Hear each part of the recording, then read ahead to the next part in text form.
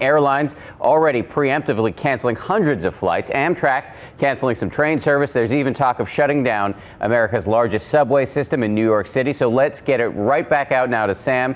Sam, I got to ask you, what would you say to people who think to themselves, Hurricane Irene really wasn't that bad last year, so I'm not going to worry this time?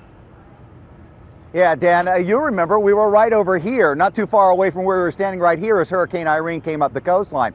And the thing about Hurricane Irene was we got to remember it was a very bad storm. It brought a lot of rain and a lot of flooding to inland areas. It didn't do the coastal damage. So if you look at all the problems that you can have with this with this system, coastal damage is just one. Then you have rain, then you have wind, then you have flooding, and the flooding is from coastal and from that inland rain. And in this case, you have snow as well. So you've got that five points. And maybe one point was not as bad in, in uh, Irene in, in the biggest part uh, uh, of New York. But I'll tell you, in the biggest population center of New York. But that was a bad storm for a lot of folks. So what I would tell them is to be prepared for this storm to have a stronger coastal effects and all the other effects that Irene brought with it. And it may even be more wind and more rain if these forecasters are right this morning.